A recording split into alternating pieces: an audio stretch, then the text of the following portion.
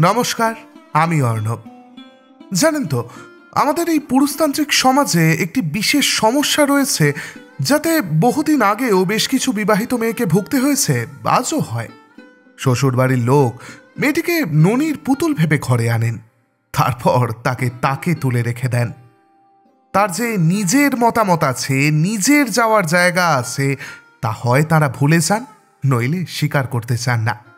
তারা ভুলে যান তাদের ঘরের বউ হওয়া ছাড়াও তার অন্য কোনো পরিচয় আছে। ব্যাস, আর কি। খাঁচায় বন্ধ পাখি হয়ে কেটে যায় এক একটা জীবন। তবে সত্যি বলুন তো, এই সমস্যা কি শুধুই মেয়েদের? ছেলেদের কখনো ভুগতে হয়নি এ চালায় হ্যাঁ তুলনামূলকভাবে অনেক কম। তবে কিছু ক্ষেত্রে হয় বই কি? হ্যাঁ কি জিজ্ঞেস করছেন? কীরকম? হাসুন, সেই গল্পই শুনি আজ। শুরু হচ্ছে আমার আজকের নিবেদন। জলধর সেনের গল্প, অপমান।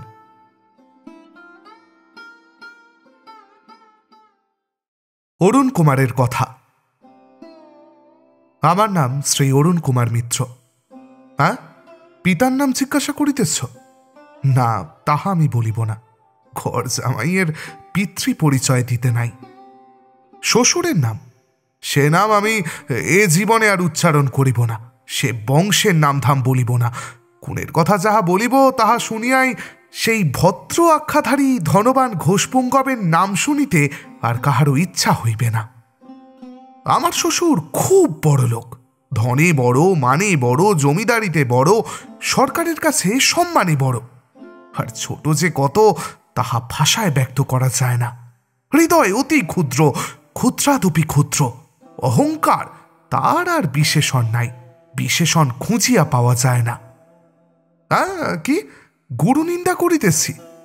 হ্যাঁ গুরুর কথা বলিতেছি, পরিচয় দিতেছি, নিন্দা করিতেছি না। তিনি আমার উপকার করিয়াছেন। তাহা অস্বীকার করিব কেমন করিয়া? কিন্তু যতটুকু উপকার করিয়াছেন, জীবন দিলে যদি সে ঋণ মুক্ত হইতে পারা যায়, তাহা হইলে এখনই সে গুরুভার হইতে মুক্তি লাভ করিয়া আমি তোমার কোনো ধার ধারি না, বলিয়া অন্তিম নিঃশ্বাস ত্যাগ করিতে পারিলে সৌভাগ্য মনে করিতাম। তোমরা আমার কয়েকটা কথা শোনো। শরীর বড় দুর্বল, রোগে জীর্ণ। মৃত্যুসজ্জায় শয়ন করিয়া বড় দুঃখে, বড় কষ্টে কয়টি কথা বলিতেছি। আমি গরিবের ছেলে। বাবা অতি কষ্টে আমার লেখাপড়ার ব্যয় চালাইয়াছিলেন।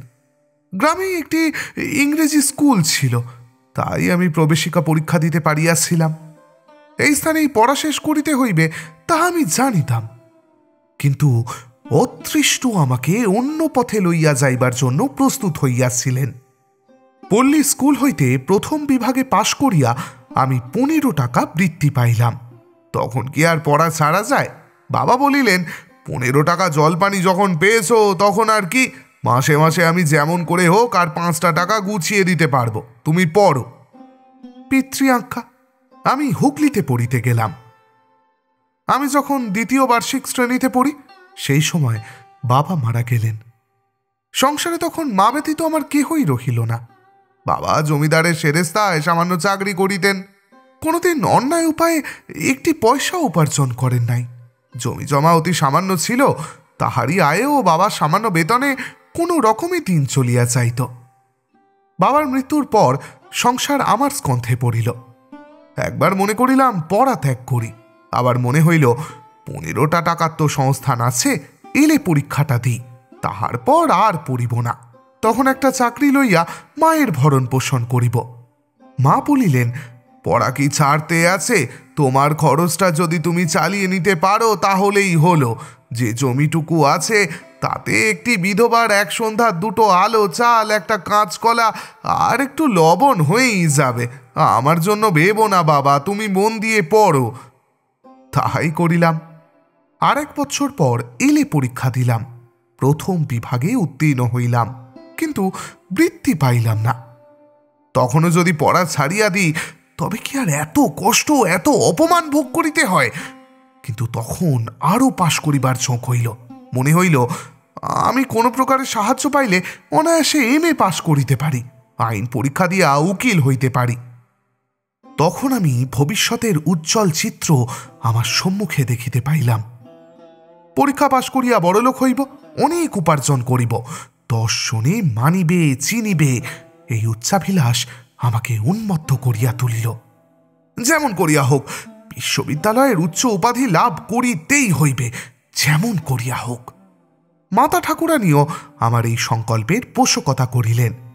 চার পাঁচটা বছর, বাবা, আমি যেমন করিয়া পারি কাটাবো, তুমি তোমার পড়ার একটা উপায় করো। উপায় উপস্থিত হইল। অতি সহজ উপায়। এক জমিদার তাহার একমাত্র কন্যার বিবাহের জন্য বর খুঁজিতেছিলেন। আমার মতো গরিবের ছেলেই তিনি চান, নিজের ব্যয়ে তাহাকে লেখাপড়া শিখাইয়া লইবেন। তাহার পর তাহার বিস্তৃত জমিদারি, অগাধ টাকা জামাই মেয়েকেই দিয়া যাইবেন। আমি বড় কুলিনের ছেলে, প্রথম বিভাগে এলে পাশ করিয়াছি। কলেজের অধ্যাপকেরা বলিয়াছেন, আমি খুব ধারালো ছেলে। দেখতে দেখতে বিশেষ সম্মানের সহিত এম এ পাশ করিতে পারিব। আমার স্বভাব চরিত্রও ভালো। জমিদার মহাশয় যাহা যাহা খুঁজিতেছিলেন, তাহা নাকি তিনি একাধারে পাইলেন। এদিকে আমিও দেখিলাম আমার উচ্চ আশা ফলবতী হইবার আর কোনো বিঘ্নই নাই। ঘর জামাই হইতে হইবে। না, তেমন কথা তো কিছু তখন হয় নাই। সকল দিক কি আর সে সময় ভাবিবার অবকাশ ছিল? লেখাপড়া শিখিবার সুযোগ উপস্থিত। আর কোনো দিক ভাবিলাম না। মাতা ঠাকুরানী সেকেলে মানুষ, তিনি অত শত বুঝিলেন না, সম্মতি দিলেন। আমি জমিদার মহাশয়ের রূপবতী বিদুষী ষোড়শী কন্যাকে বিবাহ করিয়া এক রাত্রির মধ্যেই গরিব বিধবার সন্তান হইতে একেবারে বড় মানুষ জমিদারের জামাই বাবু হইয়া পড়িলাম। তখন কি ভাবিয়াছিলাম যে জমিদারের কাছে দাসখত লিখিয়া দিয়াছি? হায় অপদার্থ যুবক, হায় কাণ্ডজ্ঞানহীন, আত্মসম্মান বর্জিত বাঙালির সন্তান। আমার শ্বশুর যখন আমাকে কলিকাতা প্রেসিডেন্সি কলেজে পড়াইবার ব্যবস্থা করিয়া দিলেন, তখন আমি উল্লাসে অধীর হইলাম। বিবাহের পরে যে জমিদার মহাশয় তাহার কন্যাকে আমার ক্ষুদ্র কুটিরে পাঠাইলেন না, লোকজন পাঠাইয়া আমার মাতা ঠাকুরানীকে কয়েকদিনের জন্য তাহার বাড়িতে লইয়া আসিয়া পুত্রবধূর মুখদর্শনের আশা মিটাইয়া দিলেন, তাহাতেও আমার আত্মসম্মানে আঘাত লাগিল না। তাহার পর পুত্র বিক্রয়ের বিনিময়ে আমার শ্বশুর যখন আমার মাতাকে মাসে মাসে পনেরোটি করিয়া টাকা দিতে লাগিলেন, তখন সে টাকা হাত পাতিয়া লইতেও আমার মনে একটু সংকোচ বা ঘৃণা হইল না। হায় এ পাস, হায় মান যশের নেশা। আমি কলিকাতার প্রেসিডেন্সি কলেজে পড়িতে আরম্ভ করিলাম। বড়দিনের ছুটির সময় শ্বশুর বাড়িতেই যাইতে হয়, নতুবা তাহারা রাগ করেন। বলেন, গরিব লোকের বাড়িতে ঘন ঘন যাওয়া আসা করলে মন ও চালচলন বড় ছোট হয়ে যায়। কথাগুলি শুনিয়া মনে মনে বড় ব্যথা লাগিত। কিন্তু ওই যে নেশা, বড় হইবার আকাঙ্ক্ষা, হৃদয়ের বেদনা ছাড়িয়া ফেলিতাম। কি অপদার্থই তখন হইয়া গিয়াছিলাম। শ্বশুর শাশুড়িকে লুকাইয়া এক এক শনিবার বাড়িতে যাইতাম। আবার রবিবারে চোরের মতো চলিয়া আসিতাম। হোস্টেলের কেহ জিজ্ঞাসা করিলে কখনো বলিতাম, কালীঘাটে এক বন্ধুর বাড়িতে গিয়াছিলাম। কখনো বলিতাম, শ্বশুর বাড়ি গিয়াছিলাম। মায়ের যে আমি একমাত্র সন্তান, বিধবার যে হামা বই আর কেহ নাই। এক বছর পরেই আমার একটি ছেলে হলো। তখনও আমি বিয়ে পাশ করি নাই। পৌত্রের মুখ দেখিবার জন্য মা বড়ই ব্যাকুল হইলেন। শাশুড়িকে বলিলাম, তিনি বলিলেন, তোমাদের বাড়িতে তো আমি খোকাকে কিছুতেই পাঠাইতে পারিব না, কর্তাকেও সে কথা বলতে পারব না। তোমার মা এসে দেখে গেলেই পারেন, তাকে তো আর আমরা আসতে বারণ করিনি। দুটো খেতে দিতেও কাতর নই। এত লোক বাড়িতে খাচ্ছে, তোমার মায়ের কি আর দুটো ভাত আমরা দিতে পারি না? কথা শুনিয়া আমি পৃথিবী অন্ধকার দেখিলাম। অনেক সহ্য করিয়াছি, অনেক অপমান গায়ে মাখি নাই। কিন্তু এ অপমান একেবারে অসহ্য বোধ হইল। আমার দুঃখিনী মা দুটো ভাতের জন্য এ বাড়িতে আসিবেন? বড় মানুষের গৃহিণীর কি নিচ হৃদয়! আমি কাঁদিয়া ফেলিলাম। আমার কান্না দেখিয়া শাশুড়ি, সেই জমিদার গৃহিণী একটু তীব্রস্বরে বলিলেন, এমন কি বলেছি যে তোমার কান্না পেল ওসব বাজা ভালো লাগে না। এই বলিয়া তিনি কার্যান্তরে চলিয়া গেলেন। সৌভাগ্যের কথা যে তখন সে ঘরে আর কেহ ছিল না। আমি চোখের জল মুছিয়া বাহিরে চলিয়া গেলাম। কাহাকেও কিছু বলিলাম না, আমার স্ত্রীকেও না। এতদিন এত কথা শুনিয়াছি, কিন্তু কোনোদিন আমার স্ত্রীকে কোনো কথা বলি নাই। মনে হইতো বড় মানুষের মেয়ে যদি তাহার মায়ের মতো আমাকে দশ কথা শুনাইয়া দেয়, তাহা হইলে আমার যন্ত্রণা যে একেবারে অসহনীয় হইবে। সেদিন বাহিরে বসিয়া অনেকক্ষণ ভাবিলাম। একবার মনে হইল, আর ইহাদের আনুগত্য করিব না। একটা ছেলে পড়ালেই কি আমার খরচ চলিবে না? কিন্তু তখনই মনে হইল, পরীক্ষার নিকটবর্তী। এখন টিউশনেই বা কোথায় পাইব? আর পাইলেও সময় নষ্ট করা ঠিক হইবে না। এত অপমান যদি এতদিন সহ্য করিয়াছি, আরও কয়েকটা দিন সহ্য করি। কত কথা যে তখন ভাবিয়াছিলাম, তাহা এখন আর মনে নাই। শেষে এই অপমানও সহ্য করাই স্থির করিলাম। আমি এমনই অপদার্থ হইয়া গিয়াছিলাম। কলিকাতায় যাইয়া পরের শনিবারেই বাড়ি গেলাম। মা আমার ছেলেকে দেখিবার জন্য জিদ করিতে লাগিলেন। আমি ওই একই কথা বলি, তোমার কি কাজ নেই? অবশেষে মা বলিলেন, অরুণ, আমি তোমার মনের কথা কি বুঝি নাই? তা বাবা, আমি গরিব মানুষ, অপমানে আমার কি হবে? গরিবের আবার মান অপমান। আমি কত অপমান সহ্য করেছি, তা কি তোমায় একদিনও বলেছি? কি করব বাবা? ভগবান যদি দিন দেন, তখন সব ভুলে যাব। আমি একবার খোকার মুখখানি দেখে আসতে চাই। আমি বললাম, না মা, কাজ নেই সেখানে গিয়ে। খোকা একটু বড় হলে তাকে বাড়ি নিয়ে আসব। মা একটা দীর্ঘ নিঃশ্বাস ত্যাগ করিয়া বলিলেন, বুঝলাম বাবা ভগবান আমার অদৃষ্টে সে সুখ লেখেন নাই। যাক, খোকা বেঁচে থাক, এই আশীর্বাদ করি। মায়ের দীর্ঘ নিঃশ্বাসে আমার বুক ফাটিয়া যাইতে লাগিল। কিন্তু কাপুরুষ আমি, মায়ের এই গভীর হৃদয় বেদনা দূর করিবার কোনো পথই তখন খুঁজিয়া পাইলাম না। ছয় মাস চলিয়া গেল। আমার ছেলের না না জমিদার মহাশয়ের একমাত্র দৌহিত্রের অন্নপ্রাশনের সময় উপস্থিত হইল। বাছিয়া বাছিয়া কবে দিন স্থির হইল জানেন? আমার বিয়ে পরীক্ষার দ্বিতীয় দিনে। শুনিলাম, পাঁচিতে সেই এক দিনই অতি শুভ দিন। তাহার পূর্বে আর ভালো দিন নাই। পরে চারি মাস আকাল। সুতরাং আমার উপস্থিতির জন্য দিন পরিবর্তন করা কোনো প্রকারেই হইতে পারে না। কথাটা সত্যই তো। এ তো দরিদ্র অরুণ কুমার মিত্রের পুত্রের অন্নপ্রাশন নহে, এ যে বড় জমিদার দৌহিত্রের অন্নপ্রাশন। তাহাতে পুত্রের দারিদ্র খরজামাই পিতার উপস্থিত থাকার এমন কি প্রয়োজন আছে? এ উপলক্ষে তাহার আমার মাতা ঠাকুরানীকে স্মরণ করিয়াছিলেন। বাড়ির একজন কর্মচারীকে আমাদের বাড়িতে পাঠাইয়াছিলেন। মাতা ঠাকুরানী যাইতে সম্মত হন নাই। কর্মচারীর মুখে বলিয়া পাঠাইয়াছিলেন, আমি এখান হইতেই খোকাকে আশীর্বাদ করিতেছি। বড় দুঃখেই মাই নিমন্ত্রণ গ্রহণ করেন নাই। এমন মায়ের পেটে এমন ছেলে কেমন করিয়া জন্মগ্রহণ করিয়াছিল, তোমরা কেহ বলিতে পারো? যথা সময়ে মহা আড়ম্বরে জমিদার দৌহিত্রের অন্নপ্রাশন হইয়া গেল। পরীক্ষা যেদিন শেষ হইবে, সেই দিনই শ্বশুর বাড়ি যাইবার জন্য আমার উপর আদেশ প্রদত্ত হইয়াছিল। কিন্তু তাহা হইল না। যেদিন পরীক্ষা শেষ হইল, সেই দিনই সংবাদ পাইলাম, মা ভয়ানক জ্বরে শয্যাগত হইয়াছেন। তখন আর বিলম্ব না করিয়া বাড়ি চলিয়া গেলাম। বাড়ি গিয়া দেখি মায়ের অবস্থা ভালো নয়। যেদিন খোকার অন্নপ্রাশন সেই দিন মা সমস্ত দিন কাঁদিয়াছিলেন। তাহার পর সেই রাত্রিতেই তাহার জ্বর হয়। সেই জ্বর ক্রমে বাড়িতে থাকে। পাছে আমার পরীক্ষার প্রতিবন্ধক হয়। এই জন্য মায়ের আদেশেই প্রতিবেশীরা আমাকে পূর্বে সংবাদ দেন নাই। বাড়িতে পৌঁছিয়া ডাক্তারের মুখে শুনিলাম মায়ের অবস্থা ভালো নহে। এই যাত্রা রক্ষা পাইবার সম্ভাবনা নাই। বিশেষ, তাহাকে কিছুতেই কেহ ঔষধ সেবন করাইতে পারিতেছেন না। আমিও কত চেষ্টা করিলাম, কিন্তু তার সেই এক কথা, আমার যাবার সময় হয়েছে আর কেন? সেই তিনি অপরাহ্নকালে মা আমাকে বলিলেন, বাবা অরুণ, একটা স্বাদ আমার পূর্ণ হলো না। খোকার মুখখানি একবার দেখতে পেলে আমি আনন্দে মরতে পারতাম। আমি বলিলাম, মা, তুমি ভেবো না, আমি খোকাকে আনবার ব্যবস্থা করছি। এই বলিয়া বাহিরে আসিয়া প্রতিবেশীদিগের সহিত পরামর্শ করিলাম।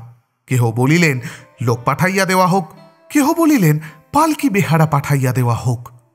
আমার স্কুলের বৃদ্ধ হেডমাস্টার মহাশয় বলিলেন, না না, তাতে হবে না। অরুণ, তুমি নিজে না গেলে তারা কিছুতেই ছেড়ে দেবেন না। তুমি গেলেই বা কত দূর কি হয় তাহাতে সন্দেহ। তবুও আমার মতে তোমারই যাওয়া উচিত। তোমার মায়ের যেরকম অবস্থা দেখিতেছি, তাতে দুই একদিন কোনো ভয় নেই।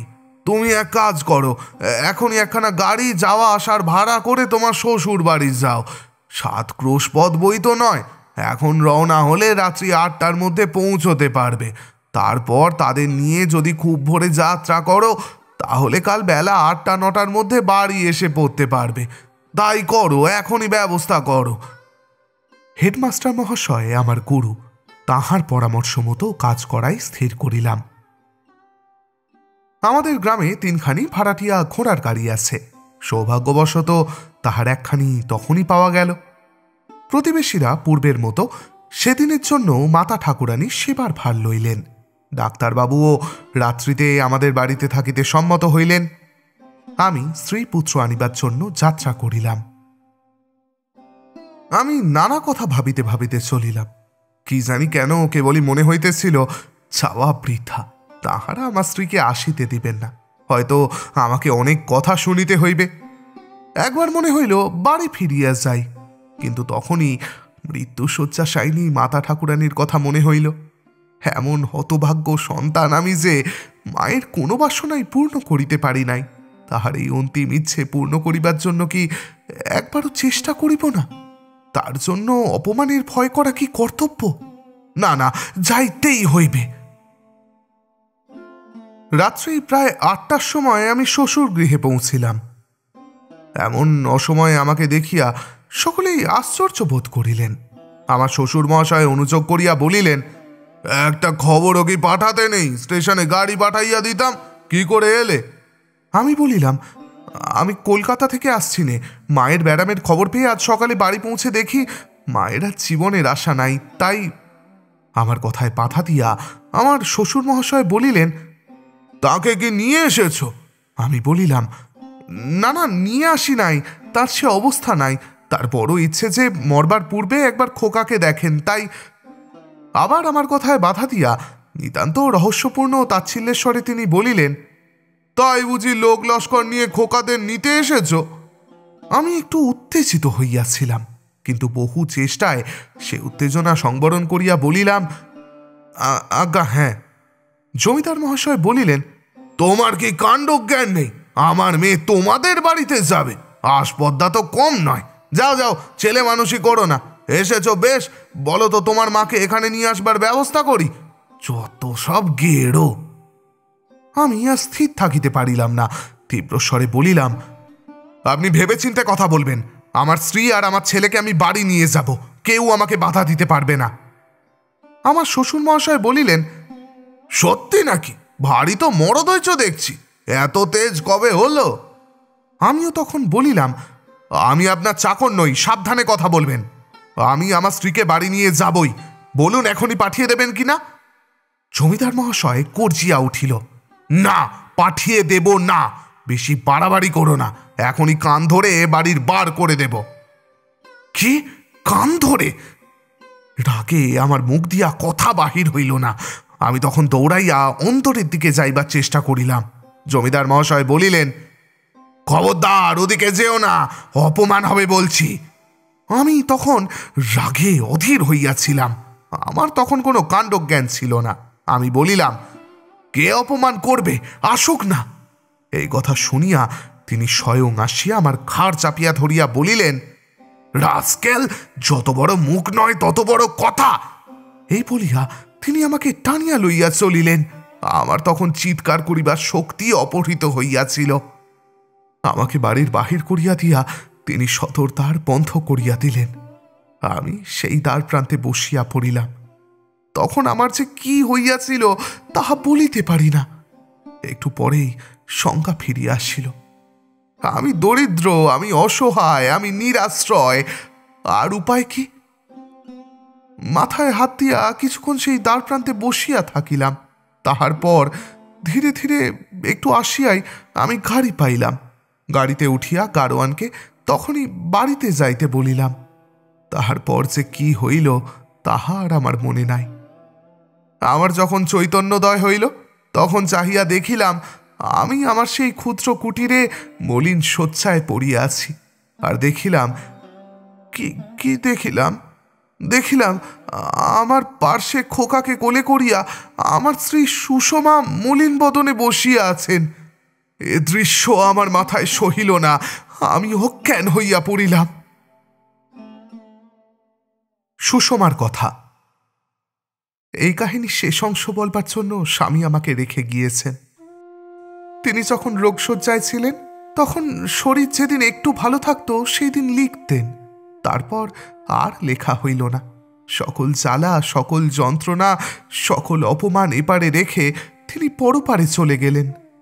আমি আজ শাস্ত্র নয়নে এই শোকবহ কাহিনীর উপসংহার করছি। আমার বাবা যখন আমার স্বামীকে অপমান করে তাড়িয়ে দিলেন, নিজের হাতে বাড়ির বার করে দিলেন, তখন তো সে খবর আমরা কেউ পাইনি। পেলে কি হতো ভগবানই জানেন। একটু পরে এই কথাটা অন্তরে বেজে উঠল, সবাই শুনতে পেল, আমারও কানে গেল। আমার বুকের ভেতর তখন যে কি করে উঠল, তা মাথার উপর যিনি আছেন, তিনিই জানেন। আমার ইচ্ছে হতে লাগল তখনই কলায় তড়ি দিয়ে মরি। চোখ দিয়ে জল এলো না চলছে শুকিয়ে গিয়েছিল। বুক যেন ফেটে যেতে লাগল। এক একবার ইচ্ছা করতে লাগল চেঁচিয়ে বাড়ি ফাটিয়ে দিই তোতলার বারান্দা থেকে লাফিয়ে পড়ি। এ প্রাণ রেখে আর কি হবে? কিন্তু খোকা মরা হলো না, রাগ করা হলো না। কার উপর রাগ করব? এরা আমার কে? কেউ নয় কেউ নয়।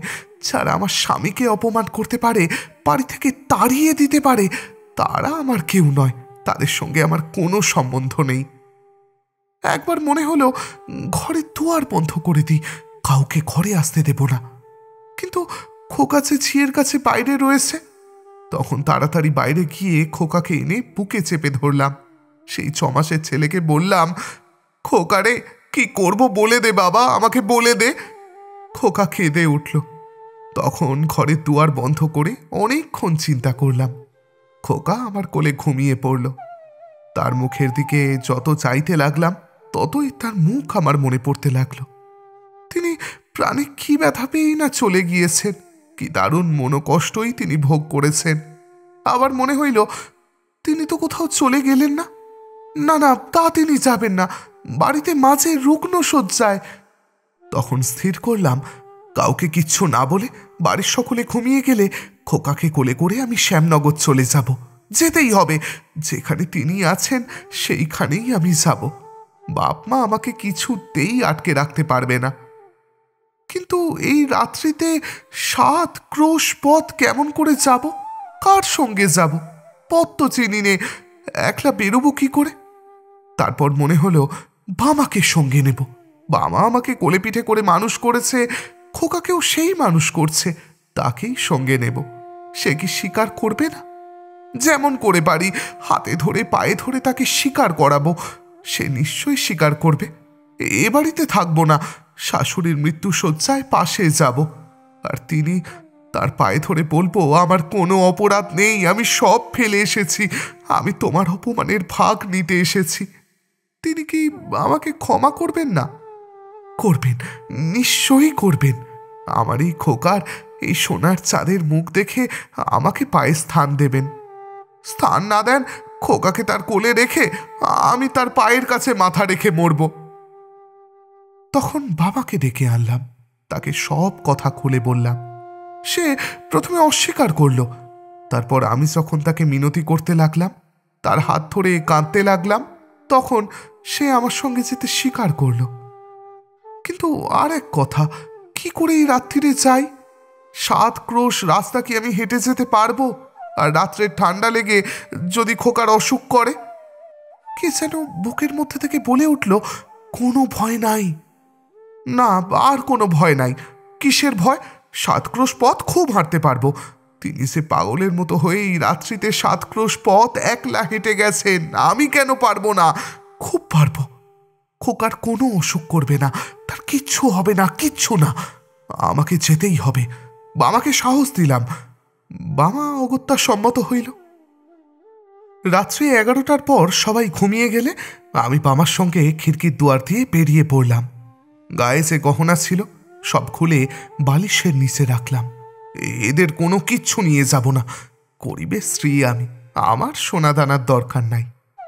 একটা মোটা চাদর দিয়ে খোকাকে বেশ করে ঢেকে নিয়ে এক বস্ত্রে বড় মানুষ পাপের বাড়ি ত্যাগ করলাম। রাস্তায় এসে গা ছমছম করতে লাগল। কখন তো ঘরের বাহির হইনি, পথও চলিনি। আর আজ এই রাত্রিতে সাত ক্রোশ পথ চলবার জন্য বাড়ি থেকে পালিয়ে বেরিয়েছি। প্রায় এক পথ হেঁটে আর চলতে পারিনি। পা ভেঙে আসতে লাগল। তবুও তো খোকা বামার কোলে ছিল। আমি কাতরভাবে বললাম বামা আর যে চলতে পারিনে। বামা বলল, দিদি, সে কথা তো আমি তখনই বলেছিলাম, তুমি তো শুনলে না। এখন কি করি? এ রাত্রে পথে জনমানব নাই, কি করি বলো? আমি তখন বললাম বামা পথের ধারে এসো, একটু জিরিয়ে নি, তাহলেই আমি আবার চলতে পারব। এই বলে আমি বসে পড়লাম। কিন্তু আর সে উঠতে পারিনি। মনে হলো আমার পাদুখানি একেবারে অসার হয়ে গিয়েছে। তখন এক মনে ভগবানকে ডাকতে লাগলাম। চোখ দিয়ে জল পড়তে লাগল। হঠাৎ দূরে একখানি গাড়ি আসিবার শব্দ পাইলাম। আমরা যেদিক থেকে এসেছি, সেই দিক থেকে এই গাড়িখানি আসছে বলে মনে হলো। আমার বুকে যেন বল এলো। আমি বললাম, বাবা, ভগবান আমার প্রার্থনা শুনেছেন। ওই শোনো এখানি গাড়ির শব্দ পাওয়া যাচ্ছে। আমরা পথের ধারে বসে গাড়ির প্রতীক্ষা করতে লাগলাম। গাড়ি খাড়িয়ে আমাদের কাছে এলে বামা গাড়োয়ানকে বলল, ওগো, ভাড়ায় যেতে পারবে? গরুর গাড়ির গাড়োয়ান যখন শুনলে যে আমরা শ্যামনগরে মিত্রদের বাড়ি যাব, তখন সে স্বীকার করল, বলল, আমারও শ্যামনগরেই বাড়ি, আমি মুখুজ্জে বাবুদের প্রজা মিত্তির বাবুদের বাড়ির কাছেই আমাদের ঘর গো, তা ভাড়া বারো আনা দিতে হবে। আমরা তাহাতেই স্বীকার করে গাড়িতে উঠলাম। বুকে তখন বল এলো। গাড়ি যখন পৌঁছিল, তখন রাত্রি প্রায় চারিটা। আমরা ঘরে প্রবেশ করিয়া দেখি, সব শেষ হয়ে গেছে। আমার শাশুড়িকে উঠানে শুইয়ে রাখা হয়েছে। সকলে শ্মশান যাত্রার ব্যবস্থা করেছে। আমি আর স্থির থাকতে পারলাম না। শাশুড়ির বুকের ওপর পড়ে কেঁদে উঠলাম। মাগো, একবার চাও একবার চাও। আমি যে সব ফেলে ছুটে এসেছি, মা। একবার খোকাকে কোলে করো, মাগো। একটা কথা বলে যাও ও গো একটা কথা বলে যাও। সকলে তখন আমাকে ধরে বারান্দায় বসিয়ে দিল। একজন প্রতিবেশিনী বললেন, সেই আশাই এলে, মা, সন্ধেবেলা যদি আসতে, তাহলে গিন্নিকে দেখতে পেতে। আহা, খোকা খোকা বলতে বলতেই প্রাণটা বেরিয়ে গেল গো। শুধু ওরে খোকা ওরে খোকা। এই হৃদয়ভেদী কথা শুনিয়া আমার বুক ফেটে যেতে লাগল। প্রতিবেশিনী বলিলেন, আর কেঁদে কি করবি মা? বিপদের ওপর বিপদ। অরু গেছিল তোমাদের আনতে। সে রাত্রির এগারোটার সময় ফিরে এলো। সবাই গাড়ির কাছে গিয়ে দেখে, অরু গাড়ির মধ্যে অজ্ঞান হয়ে পড়ে আছে। এখনও তার জ্ঞান হয়নি। এই কথা শুনে আমার মাথায় যেন বজ্রাঘাত হলো। আমি তাড়াতাড়ি বললাম, কই কই তিনি কোথায়? আমার আর তখন লজ্জা সরম ছিল না। প্রতিবেশিনী আমাকে তখন তার ঘরের মধ্যে নিয়ে গেলেন। দেখি তিনি অজ্ঞান হয়ে পড়ে আছেন। স্বামী অজ্ঞান অবস্থাতেই তিন দিন কাটালেন। তারপর ক্রমে তিনি অনেকটা সুস্থ হলেন। এর মধ্যে একটু সুস্থ হয়ে স্বামী একদিন আমাকে বললেন, সুষমা, এত কষ্ট সহ্য করে তুমি এখানে থাকতে পারবে? আমি বললাম, খুব পারব। আর শোনো, আমি তোমার সম্মুখে প্রতিজ্ঞা করছি, সে বাড়ির নাম মুখে আনব না। তুমি তো যাবেই না, খোকাকেও সেখানে যেতে দেব না। ভিক্ষা করে খেতে হয় তাও খাব, না খেয়ে মরতে হয় এই ভিটেই পড়ে মরবো। তবুও কোনো দিন তাদের সাহায্য চাইব না, কিছুতেই না। খোকা যদি বড় হয়ে তাদের সাহায্য চাইতে যায়, তবে আমি অভিসম্পাত করছি। তিনি আমার মুখ চাপিয়া ধরিলেন। তার কয়েকদিন পরেই তার অসুখ আবার বেড়ে উঠল। সে অসুখ আর কিছুতেই সারল না। সেই অসুখেই তিনি চলে গেলেন। মৃত্যুর পূর্বদিন আমার দিকে চেয়ে অতি ক্ষীণ স্বরে তিনি বললেন, সুষমা, আমি তো চললাম। তুমি অপমান, অভিমান ভুলে যাও। খোকাকে পথের ফকির করো না। আমার তো কেউ নেই। কার হাতে তোমাদের দিয়ে যাব? সব ভুলে যাও। আমি ভুলে গিয়েছি। খোকাকে নিয়ে তোমার বাপ মায়ের কাছে যেও। অপমানের কথা মনে রেখো না। আমি বললাম, এ জীবনে নয়, ক্ষমা এ জীবনে নয়। তুমি দেবতা, তুমি ক্ষমা করতে পারো, তুমি ভুলে যেতে পারো। কিন্তু আমি স্বামীর অপমান কিছুতেই ভুলতে পারব না। আমাকে যদি তারা অপমান করতো, আমি তা উড়িয়ে দিতে পারতাম। কিন্তু তারা তোমাকে অপমান করেছে, আর তাদের ক্ষমা ও কথা বলো না। তিনি যেন কি বলতে যাচ্ছিলেন, কিন্তু বলতে পারলেন না। পর তিনি সব শেষ হয়ে গেল। তার কথা বলা হয়েছে। আর কেন? আমাদের দুঃখের কথা আর শুনে কাজ নেই। মাথার উপর যিনি আছেন, তিনিই দেখছেন, তিনিই শুনছেন। মা বাবা এসে কত কেঁদেছেন, কত অনুরোধ করেছেন, কিন্তু আমি চাই নাই, যাবও না। এই ভাঙা ঘরে পড়ে আছি, ভিক্ষা করে খাব, তবু এইখানেই থাকব। এই যে আমার স্বামীর মন্দির, আমি এই তীর্থেই মরব। কি বলছো? আমার বুকে বড় বেজেছে, তাই এই কথা বলছি। না না, ওগো, না, আমার বুকে কই বড় বেজেছে? বুকে বেজেছিল সেই দক্ষরাজের মেয়ে সতীর, তাই তিনি পতির নিন্দা শুনেই প্রাণ ত্যাগ করেছিলেন। আর আমি পতি নিন্দা নয়, পতির অপমান, পতির বড় বেদনায় দেহত্যাগ দাঁড়িয়ে দেখেও বেঁচে আছি।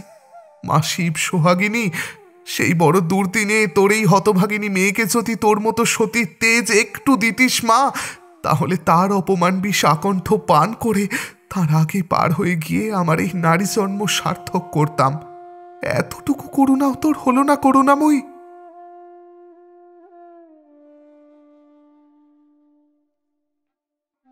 ব্যাস, আমাদের গল্প এখানেই শেষ। গল্পে যা হলো, এ কিন্তু বাস্তবেও হয়। জীবনসঙ্গী যদি জীবনের যন্ত্রণাগুলো পড়তে পারে, সেই যন্ত্রণা সয়ে নেওয়া অনেক সহজ হয়। তবে কি জানেন তো, আমাদের নায়িকার দুর্ভাগ্য তার বিদ্রোহ বড় দেরি হয়ে গেল। আর নায়কের দুর্ভাগ্য তার জন্যও যে কেউ বিদ্রোহী হতে পারে একথা তিনি জানলেন বড় দেরিতে। শান্তি এলো জীবনের একেবারে শেষের দিকে এসে। যাক, এসব কথা থাক, এবার আমায় বিদায় দিন। ফিরে আসব খুব শিগগিরই আপনাদের কাছে নতুন কোনো গল্প নিয়ে। ততদিন খুব ভালো থাকবেন, ভালো রাখবেন। শুভরাত্রি।